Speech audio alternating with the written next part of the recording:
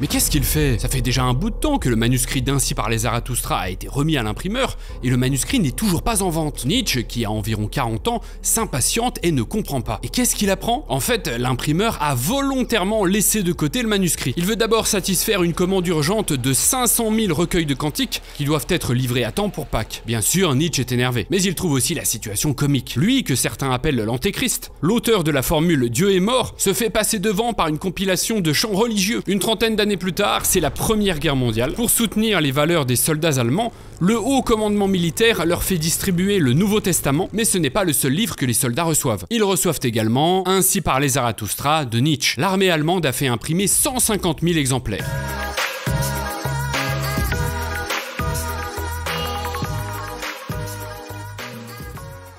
Ce qui s'est passé avec Nietzsche est inédit dans l'histoire de la pensée moderne. Sa philosophie est rejetée pendant toute sa vie, puis elle connaît un décollage dans ses dix dernières années. Et enfin, après sa mort en 1900, sa philosophie devient purement et simplement une des plus influentes du XXe siècle. Nietzsche est aujourd'hui le philosophe moderne le plus populaire. Sa tête, avec sa moustache et ses lunettes, est une image familière, presque un symbole de la pensée. Comment expliquer que des livres qui pourrissaient dans les entrepôts du vivant de l'auteur soient aujourd'hui de perpétuels best-sellers? Et même bien plus que ça, des chefs-d'œuvre et des symboles de la civilisation occidentale La réponse à cette question est dans la vie de Nietzsche. Écoutez-moi jusqu'au bout et vous comprendrez pourquoi et comment s'est produit le plus grand comeback de la philosophie moderne.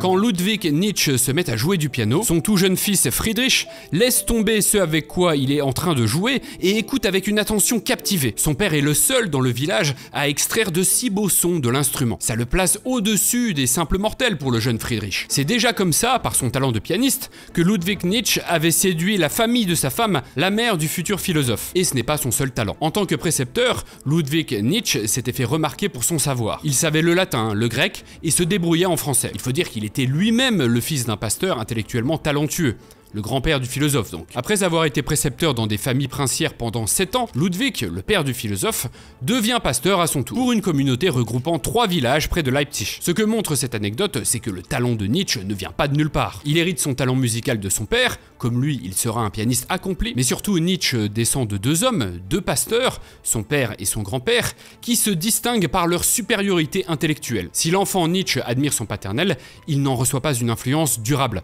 Son père meurt quand il a seulement 5 ans. Mais il continue de grandir dans un milieu où le savoir est valorisé. Sa mère déménage pour se rapprocher de sa famille. Les membres de cette famille, qui appartiennent à la bourgeoisie intellectuelle, il y a notamment des avocats, la famille maternelle supervise l'éducation du jeune Nietzsche. Nous sommes en septembre 1858. Le destin du jeune Nietzsche, qui a presque 14 ans, angoisse sa mère. Sa famille veut envoyer son fils dans une école pour orphelins, mais elle refuse. La chance lui sourit. Les excellents résultats scolaires de Nietzsche attirent l'attention du recteur du prestigieux internat de Pforta, qui accueille les meilleurs élèves de toute l'Allemagne. Nietzsche obtient une bourse, son avenir scolaire est assuré. Et pas n'importe quel avenir scolaire, 6 ans de formation intellectuelle très intense. Madame de Staël, l'autrice française du tournant du 19e siècle, qui a lancé le romantisme français à partir du romantisme allemand, Madame de Staël a dit à propos de la formation intellectuelle en Allemagne, ce que l'on appelle études en Allemagne est véritablement admirable. 15 heures par jour de solitude et de travail pendant des années leur semblent un mode de vie normal. La mère de Nietzsche, qui est une fille de la campagne, l'avait habitué à se lever tôt, vers 5h du matin. Mais à Pforta, le lever commence à 4h du matin. Peu après 5h du matin, les élèves doivent être assis dans leur salle d'études. Et puis ils se mettent à faire du latin, du grec et de l'allemand principalement, avec un niveau d'exigence qu'ils n'ont jamais connu. Nietzsche est un des tout meilleurs. Non seulement il est intellectuellement doué et travailleur, mais il est aussi curieux. Il ne se contente pas des œuvres au programme. Ce sont ces intenses années d'études à Pforta qui donnent à Nietzsche le fond culturel et intellectuel pour être un grand penseur. Il en tire également, comme les élèves passés par la classe préparatoire en France, une discipline et une capacité de travail supérieure. Dans la quarantaine, son mode de vie spartiate étonne encore les hôteliers. Il se lève chaque matin avant l'aube pour se laver à l'eau froide avant d'abattre plusieurs heures d'écriture. À 21 ans, Nietzsche étudie la philologie, c'est-à-dire l'étude critique des textes anciens, à l'université de Leipzig. Le propriétaire de son logement a une boutique de livres d'occasion. Un jour que Nietzsche fouine dans cette boutique, il tombe sur Le Monde comme volonté et comme représentation de Schopenhauer. Il le feuillette d'abord distraitement, puis il commence à lire, captivé. Le style est tellement plus lisible que celui de Kant ou Hegel, et puis il y a une familiarité dans le ton qui fascine Nietzsche. De retour chez lui, il se pose sur son canapé et se plonge dans Le Monde comme volonté et comme représentation. Comme beaucoup de gens, Nietzsche est transformé par cette lecture. Sa vision du monde et de l'existence s'écroule. Pendant plusieurs semaines, il s'abandonne à une orgie d'autocritique en remplissant un journal de pensées haineuses contre lui-même. Il est proche de la folie, mais heureusement, sa discipline le sauve. La découverte de Schopenhauer est un tournant intellectuel décisif, et c'est également le pour plusieurs des amis de Nietzsche, et plus généralement pour beaucoup d'Allemands de sa génération. Pour Nietzsche, comme pour la plupart, la dépression liée à la découverte de la vision du monde schopenhauerienne ne dure que quelques semaines. Mais Schopenhauer devient ensuite une sorte de demi-dieu intellectuel pour le jeune Nietzsche. Il dit que c'est le meilleur philosophe des mille dernières années. Il garde le monde comme volonté et comme représentation,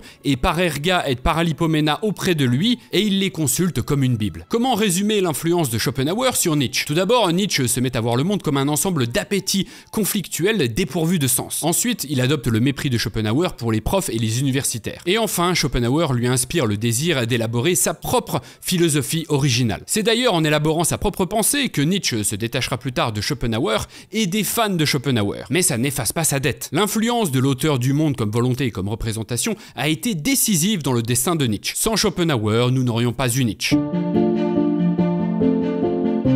À 24 ans, Nietzsche, qui vient de terminer ses études à Leipzig, est invité à un dîner en comité restreint autour de Richard Wagner. Wagner, qui a 55 ans, est déjà un compositeur célèbre pour ses opéras grandioses. Pour Nietzsche, c'est une rencontre incroyable. Il est passionné de musique, mais surtout, il a déjà acheté des partitions de Wagner. Il les a étudiées et il a été très impressionné par le style du compositeur. Bref, il est fan et là, il dîne avec le maître lui-même. Comme Nietzsche a une connaissance approfondie de son travail, la séduction est réciproque. Mais il y a autre chose. À un moment de leur discussion, Wagner se à lui parler de Schopenhauer, le seul philosophe selon lui à avoir compris la véritable nature de la musique. Wagner dit à Nietzsche qu'il doit beaucoup à Schopenhauer. Au moment de se dire au revoir, le compositeur de 55 ans prend la main de son admirateur de 24 ans, la presse chaudement, et l'invite chez lui en Suisse pour qu'il continue à parler de Schopenhauer. C'est le début d'une profonde amitié. Elle sera déterminante dans la vie et dans la pensée de Nietzsche. Conquis par l'admiration sincère et par le talent intellectuel de son jeune admirateur, Wagner en fait un de ses plus proches fidèles, presque un membre de sa famille. Le compositeur est un homme très charismatique. Il envoûte Nietzsche et on peut également imaginer que l'orphelin trouve en lui une figure paternelle. La femme de Wagner, Cosima,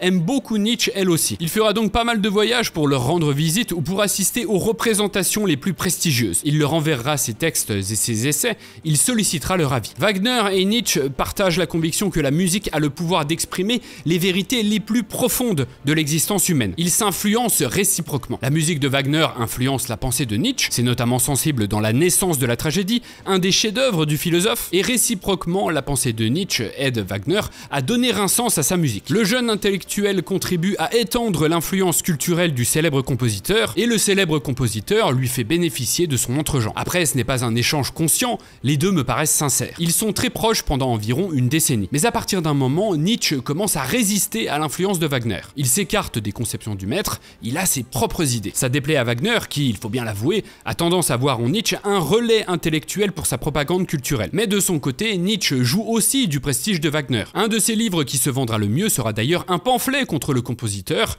le cas Wagner. À la fin de la vingtaine, Nietzsche est prof de philologie à l'université de Bâle. Les cours accueillent en moyenne plusieurs dizaines d'étudiants, jusqu'à près de 60 pour les plus populaires. Pour le cours de Nietzsche sur la rhétorique grecque et romaine, seuls deux étudiants se sont inscrits. Son cours sur Homère n'aura même pas lieu. Nietzsche se rend à l'évidence, il est un prof raté. Pourtant, quelques années plus tôt, il était considéré comme une future star de la philologie allemande, tant il avait été brillant lors de ses études universitaires. L'université de Bâle l'avait donc voulu pour le prestige de son département de philologie. Elle lui a même accordé un très de faveur, il a été nommé professeur sans passer les examens ni soumettre une thèse. Mais voilà, quelques années plus tard, rien ne s'est passé comme prévu. C'est un peu comme les jeunes prodiges que les plus grands clubs de foot arrachent à coups de millions et qui déçoivent les espoirs placés en eux. Comment expliquer l'échec académique de Nietzsche? Tout d'abord, en déménageant à Bâle, il perd son cercle d'amis et la vie culturelle de Leipzig. Ensuite, il se désintéresse de la discipline dans laquelle il excelle et qu'il est censé enseigner, la philologie. Et le fait que les étudiants désertent ses cours ne l'encourage pas. Assez rapidement, il ambitionne d'enseigner la philosophie il demande à l'administration de le faire changer de matière, en vain. Il écrit alors La naissance de la tragédie pour faire avancer sa cause. Il se dit que si ce livre marche bien, ça lui donnera la légitimité pour obtenir un poste de prof de philo. Mais comme souvent dans la vie, l'effet n'est pas celui qu'on attend. Les philologues les plus réputés lisent La naissance de la tragédie et ils estiment que c'est simplement du n'importe quoi. Le livre détruit donc la réputation de philologue de Nietzsche. Et ça rejaillit sur la réputation de l'université. Elle n'attire plus les étudiants de philologie qui lui préfèrent désormais ses concurrentes. C'est un peu comme si un jeune footballeur prodige marquait contre son camp. Enfin, il y a une dernière raison, et pas des moindres, qui explique l'échec académique de Nietzsche. Pardon pour l'interruption, mais j'ai une question à vous poser. Vous croyez vraiment que les gens ont lu tous les livres dont il parle Bien sûr que non, sinon on ne pourrait pas parler de grand chose. Ah oui, il y a 24 heures dans une journée et il faut travailler, manger, dormir et sortir le chien. Donc le secret de la culture générale, ce n'est pas de lire des livres. C'est quoi alors? En fait, il n'y a pas un seul secret, il y en a cinq. Les étudiants et les personnes les plus cultivées, les profs et les intellectuels connaissent ces cinq secrets. Vous savez, vous avez lu Renan comme moi. Mais ils se gardent bien d'en parler. Les gens qui les découvrent réussissent à développer rapidement et facilement leur culture générale parce que leur rapport au savoir a changé. Une fois qu'ils appliquent les 5 secrets, ils comprennent toutes les références des personnes cultivées, ils savent s'exprimer avec profondeur sur n'importe quel sujet, ils brillent par leur culture dans les conversations et dans les débats, et ils ont le recul nécessaire pour faire preuve d'esprit critique. Ça vous intéresse? Eh bien je vous révèle les 5 secrets et je vous explique comment les appliquer dès aujourd'hui pour vous cultiver 10 fois plus rapidement sans vous prendre la tête. Pour recevoir les 5 secrets, inscrivez-vous simplement soit en cliquant sur le lien qui apparaît maintenant en haut à droite de la vidéo, soit sur celui qui est dans la description de la vidéo. C'est l'histoire de 10 secondes, donc faites-le maintenant et vous pourrez découvrir le premier secret qui vous attendra bien au chaud dans votre boîte mail après avoir regardé cette vidéo. Voilà voilà, je vous ai dit ce que je voulais vous dire, bonne vidéo. Quand je sors avec mon chien, je rencontre souvent un voisin qui a, lui, deux gros chiens. Ça fait des années qu'on engage de petites discussions sur le chemin. Et parfois, il me dit qu'il revient d'une balade de deux heures dans la forêt. Je comprends bien que les deux grosses bêtes en ont besoin. Mais deux heures de promenade la vache, il faut les faire quand même. Hein. Bah en fait, euh, deux heures de promenade, euh, c'est rien pour Nietzsche. Sa routine, c'est 4 heures de balade en forêt, en général une heure en fin de matinée et 3 heures dans l'après-midi. Et il peut parfois passer 8 heures à marcher dans les bois. C'est vrai que la marche c'est bon pour la santé, que ça favorise l'inspiration, mais 8 heures Pourquoi est-ce que Nietzsche marche autant? Eh bien pour lui, ce n'est pas une passion, mais un remède. Et s'il marche chaque jour, c'est qu'il est tout le temps malade. Il souffre de sévères migraines et de douleurs oculaires jusqu'à l'incapacité de lire et d'écrire depuis l'adolescence. Ajoute les troubles digestifs, les spasmes, les vomissements, les crises nerveuses et les malaises. Et attention, ce n'est pas de temps en temps, c'est une condition quasi permanente. Lorsque Nietzsche est en bonne santé, c'est l'exception. Les symptômes que j'ai listés reviennent en permanence, il lui empoisonne la vie. Ça en devient même lassant dans la biographie. Nietzsche cloué au Nietzsche cloué Nietzsche cloué etc. Mais alors, c'est quoi sa maladie? Eh bien, c'est vraiment pas clair. On peut tout d'abord penser que c'est héréditaire parce que son père avait souffert de certains des symptômes, les crises nerveuses et les spasmes notamment. Mais certains symptômes semble plutôt lié à son mode de vie. En particulier, Nietzsche travaille très dur au point de multiplier les burn-out, et cela dès l'enfance. Vers l'âge de 10 ans, par exemple, ses journées commencent à 5h du matin, et il n'est pas rare qu'il fasse ses devoirs jusqu'à 11h du soir. Ça fait seulement 5-6 heures de sommeil effectif pour une journée exténuante. Je ne suis pas médecin, mais je ne serais pas étonné qu'un rythme aussi intense ait des conséquences à long terme. Autre paramètre lié au mode de vie, le climat. Pour minimiser ces symptômes, Nietzsche a besoin de la bonne météo et de la bonne température. Il dit carrément que les nuages sont ses ennemis. C'est la raison pour laquelle il n'arrête pas de se déplacer. Il vit entre Bâle, Sils Maria, Turin, Nice et l'Allemagne. Enfin, il reste une dernière hypothèse, la syphilis. Nietzsche l'aurait contracté lors de ses études à Leipzig, ce que confirmerait des visites qu'il aurait effectuées chez un médecin spécialisé. Voilà pour les hypothèses médicales. Maintenant, il y a quelque chose d'étonnant dans les symptômes de Nietzsche. Parfois, il est cloué au lit toute une journée et il pète la forme le lendemain, au point de fatiguer les personnes saines qui l'accompagnent en forêt. Et si l'origine des symptômes était psychologique? Et si Nietzsche somatisait? Plusieurs personnes le pensent dans son entourage. Et puis au XXe siècle, les psychanalystes pencheront pour cette interprétation. C'est vrai que Nietzsche se soumet depuis l'enfance à une discipline extrême, et puis il ne touchera pas une femme de sa vie. Il réprime l'expression de la nature en lui-même, il la réprime même très sévèrement.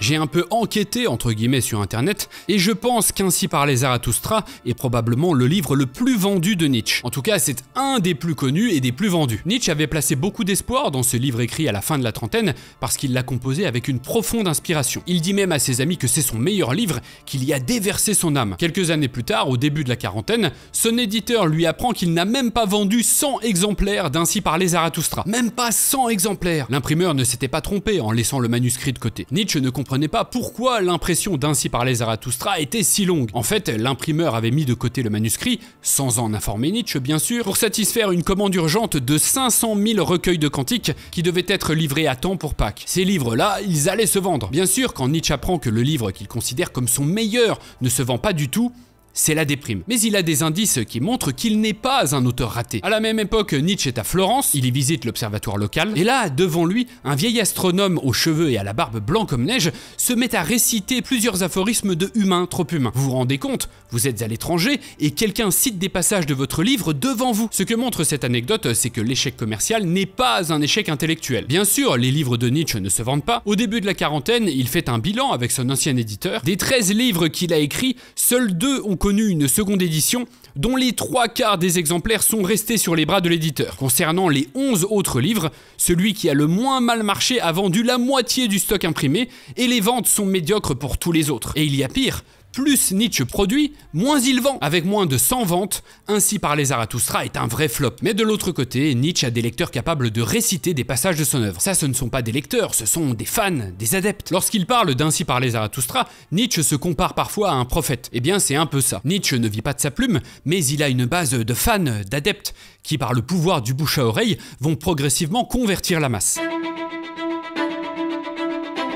Voici une des plus célèbres photos de Nietzsche. Elle a même été reprise pour l'affiche d'un film. La femme est Lou Salomé, une des plus célèbres intellectuelles séductrices, sinon la plus célèbre intellectuelle séductrice de l'Occident moderne. Et Nietzsche est sa plus célèbre victime. L'homme qui les accompagne sur la photo, Paul Ray, est un rentier fan de Nietzsche. C'est lui qui a présenté Lou Salomé à Nietzsche. Et si Nietzsche vend très peu de livres, il a déjà le prestige intellectuel d'un écrivain. La jeune Lou Salomé, une Allemande de 21 ans qui a reçu une éducation ultra privilégiée à Saint-Pétersbourg, la jeune Lou Salomé est flattée d'attirer l'attention d'un philosophe accompli de 38 ans. Nietzsche est agréablement surpris par son intelligence et elle est agréablement surprise par le caractère de Nietzsche, plus sympathique que prévu. Paul Ray, déjà amoureux de la jeune Allemande, est mis à l'écart, ce qui le rend jaloux. Nietzsche s'éprend lui aussi de Lou Salomé. Mais c'est ce qui se passe avec tous les intellectuels qu'elle fréquente, elle noue des amitiés amoureuses. Enfin, amitié pour elle. Le pasteur qui était son précepteur quand elle était adolescente a voulu divorcer pour l'épouser. Paul Ray et Nietzsche penseront eux aussi, chacun de leur côté, au mariage. Mais l'ambiguïté de la situation,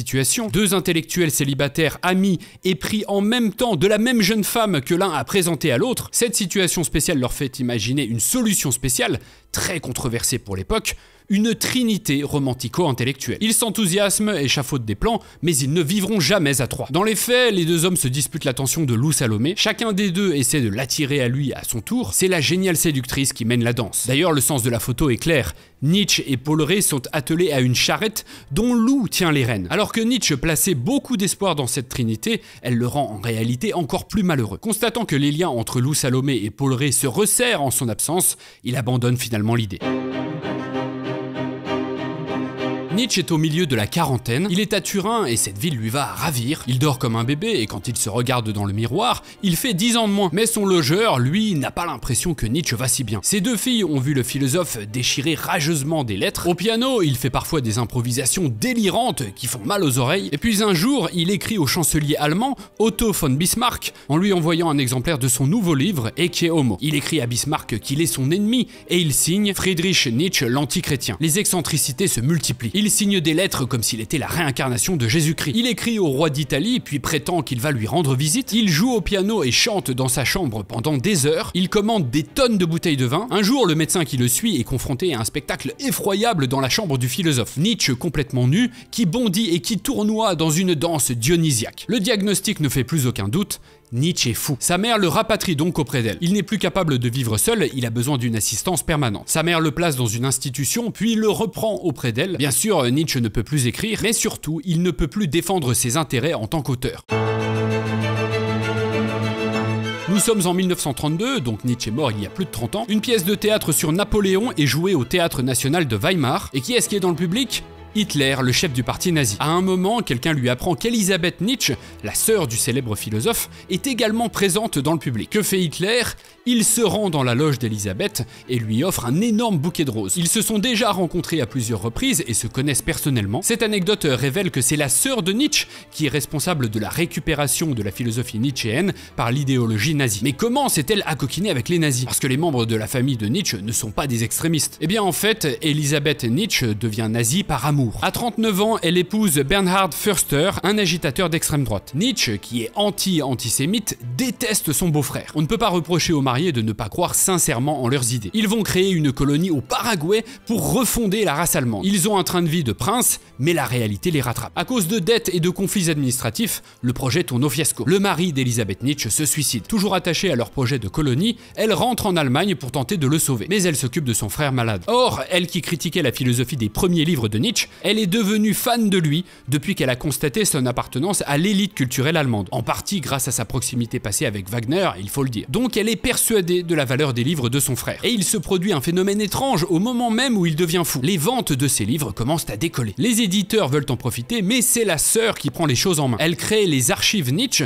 pour gérer l'œuvre de son frère devenu fou. Elle dicte ses conditions aux éditeurs, puis elle met une grosse pression à sa mère afin qu'elle renonce, moyennant finance, à ses droits sur l'œuvre de son fils. La sœur est le seul maître à bord. Elle transforme alors l'œuvre de son frère, des livres qui plombaient les comptes des éditeurs, en un business rentable. Elle prépare de nouvelles éditions et lance des actions de promotion de la pensée nietzschéenne, notamment en l'assimilant au nationalisme allemand. Elle écrit elle-même une biographie de son frère. D'un côté, elle est bien coupable de la récupération de la pensée nietzschéenne par l'idéologie nazie, elle adhérera elle-même au parti nazi à 84 ans, mais de l'autre côté, il faut lui reconnaître deux choses. D'abord, elle a vraiment cru en son frère. Elle a pris des risques financiers pour devenir le patron d'une entreprise dont on ne pouvait pas prévoir qu'elle connaîtrait un tel succès. Ensuite, Elisabeth Nietzsche est une femme forte. C'est certainement sa mésaventure au Paraguay qui l'a rendue capable d'imposer fermement sa volonté aux éditeurs et aux divers acteurs qui voulaient tirer les marrons du feu. C'est grâce à sa volonté que la pensée de Nietzsche a connu un tel succès, mais dans une version en partie déformée.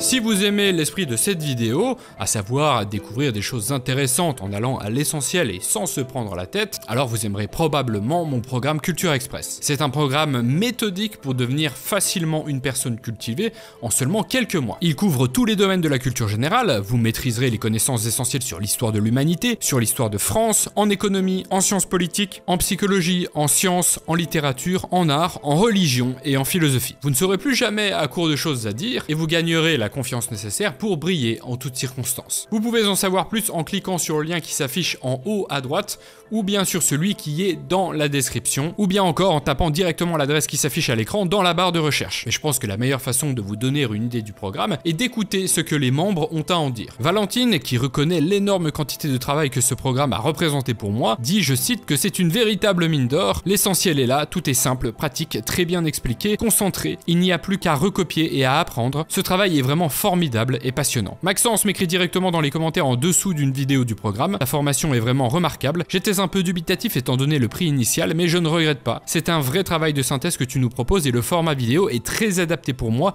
qui ai une mémoire essentiellement auditive. Le choix des thèmes et des chapitres est pertinent et je trouve que tu as trouvé la dose d'approfondissement parfaite, à la fois précis mais sans fioriture. Vincent, lui, fait carrément ma pub. J'ai d'ailleurs recommandé votre formation à ma sœur qui travaille comme diplomate. La semaine dernière, elle a déjà eu l'occasion de à profit dans ces discussions les connaissances que vous avez diffusées. Vous verrez d'autres témoignages comme ceux-ci dans les commentaires si vous rejoignez le programme. Et si vous vous inscrivez, vous bénéficiez d'une garantie résultat. Une fois que vous aurez terminé le programme, je vous rembourserai intégralement si vous estimez que vous n'avez pas acquis une solide culture générale. Si vous voulez en savoir plus, cliquez sur le lien qui s'affiche en haut à droite ou bien sur celui qui est dans la description ou bien encore tapez directement l'adresse qui s'affiche à l'écran dans la barre de recherche. Plus de 800 membres ont déjà tiré parti de ce programme et je serais ravi qu'il en soit de même pour vous. Dans tous les cas, j'espère que la vidéo vous a plu.